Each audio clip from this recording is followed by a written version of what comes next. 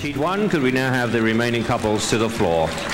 13 couples have uh, made the semifinals here in Miami. And the final six will dance here in the second heat of the semifinal.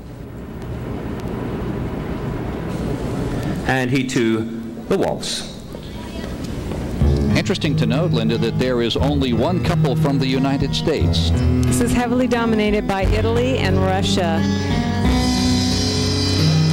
And there is a Danish couple, Jan Henrik Opsahl and Gigi Freddy Peterson. Beautifully groomed at such a young age. They're very knowledgeable in fashion.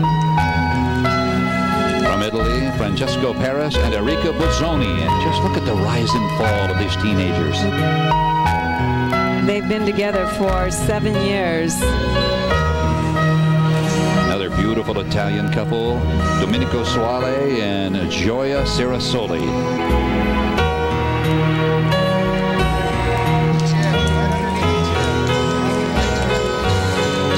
you talked about it a moment ago. The Italians dominate the semifinals. That's Francesco Paris and Enrica Bozzoni of Italy. Their maturity and their partnership is showing tonight well.